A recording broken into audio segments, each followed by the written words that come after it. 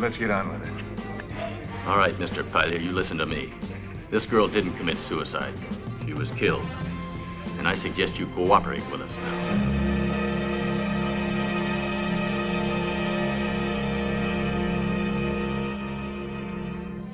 My God, it's awful.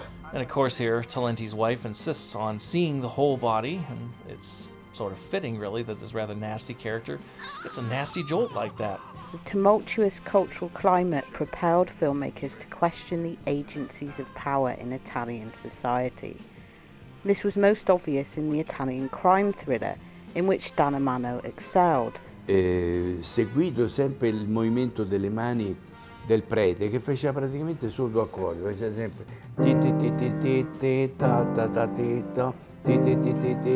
montavo avevo la facoltà di montare come volevo io perché avevo tutto ma senza esagerare.